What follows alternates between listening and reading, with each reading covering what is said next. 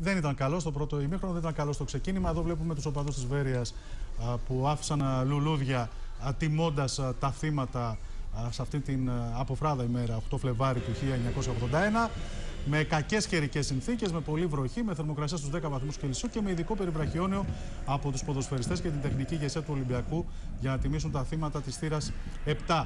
Το παιχνίδι ξεκινάει με τη Βέρεια εδώ στο 4 να απειλεί με τον Βεργόνη, αλλά ο Ρομπέρτο να αντιδρά σωστά να απομακρύνει την μπάλα. Η πρώτη πολύ καλή στιγμή για τους γηπεδούχους. Γενικά ο Ολυμπιακός δεν είχε φάσεις ε, και ευκαιρίες στο πρώτο μήχρονο.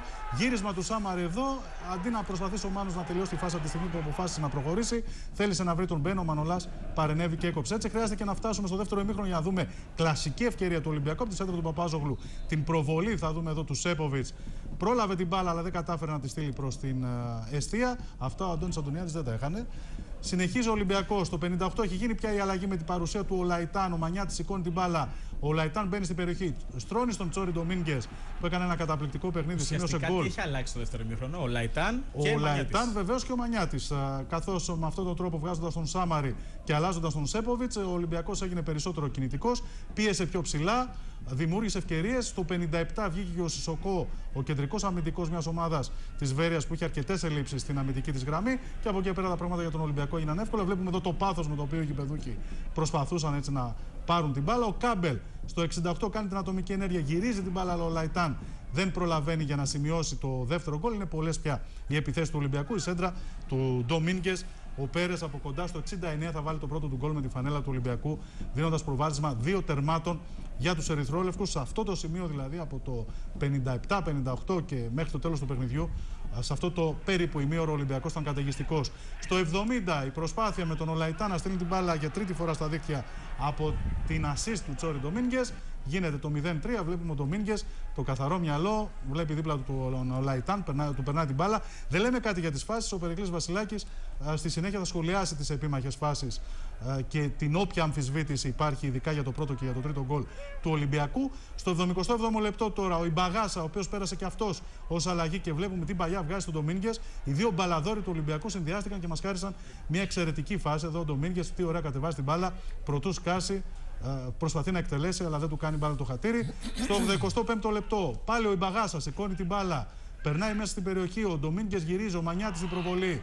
Το 4-0 στο 85ο λεπτό για την ομάδα του Ολυμπιακού από αυτόν τον εξαιρετικό συνδυασμό με τον Ιμπαγάσα μέσα ο Ολυμπιακός στα τελευταία λεπτά απέκτησε κάθε το παιχνίδι πραγματικά ήταν εντυπωσιακός σε αυτό το χρονικό σημείο και βεβαίως και ο Ντομίνγκες βρήκε συμπαραστάτη στη μεσαία γραμμή. Ο Ντομίνγκες που είναι πρώτος σε ασύ στο πρωτάθλημα με 10 συνολικά. Πέρασε πρώτο. Είναι δικαιολογημένο και αυτός και ο Ούμπιδες επίσης. Πρέπει να είναι οι δύο κορυφαίοι του πρωταθλήματος. Το δοκάρι του Μπαργκάν.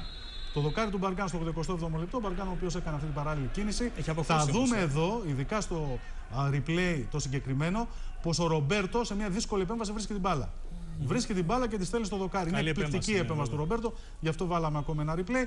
Παπάζογλου συνδυάζεται πολύ ωραία με τον Ιμπαγάσα. Η παράλληλη, κανένα πρόβλημα για τον Ολαϊτάν επιστρέφοντας στο γήπεδο που τον ξεχωρίσαμε με τη φανέλα της Βέρειας. Σημείωσε 2 γκολ. Έφτασε στα 7 γκολ, δεν πανηγύρισε τα τέρματα που σημείωσε απέναντι στην Βέρεια.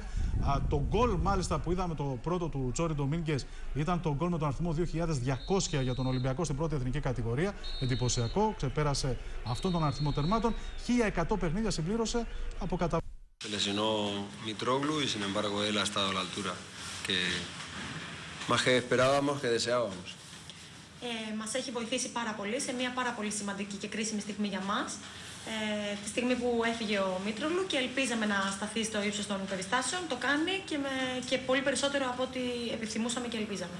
Ojalá en toda mi carrera de entrenador tuviese mucho Solaitán en mi equipo ε, σε όλη την προπονητική καριέρα. Μακάρι να έχει πολλούς Ολαϊτάν στην ομάδα του. Και no merecida un resultado tan, tan duro en contra.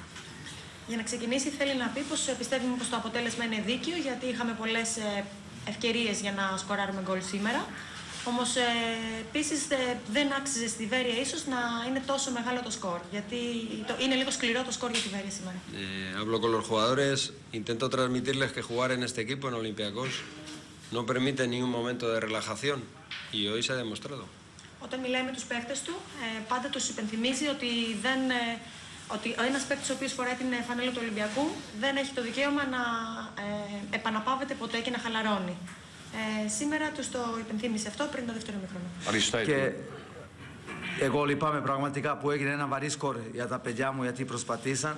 A moramo da, da gledamo napred i da se Αλλά spremamo za σίγουρα η utakmicu ομάδα μου koju πρέπει να, να βλέπει μπροστά, να ετοιμαζόμαστε όσο καλύτερα μπορούμε για το Čestitam επόμενο ekipi παιχνίδι. Olympiakosa Συγχαρητήρια στην ομάδα Ολυμπιακό. i želim sreću u Ligi šampiona. Θέλω ε, να τους πω και καλή επιτυχία για το Champions League που έχω το παιχνίδι. Ne samo ovu utakmicu, u principu nikada ne komentarišem sudiju, da li je za nas, da li je όπως protiv είδατε nas. και μέχρι τώρα και ποτέ δεν Όσο ασχοληθώ με διαιτησία. nikada Ποτέ. nisam komentarisao Ποτέ, ποτέ, suđenje. ούτε εδώ, ούτε, ποτέ, Sudija je- ούτε човек кој греши исто кој и ние. Идентитет, дентелонас кој тој не антропос, опоскануме капја злате и мис, бој на кани кефти.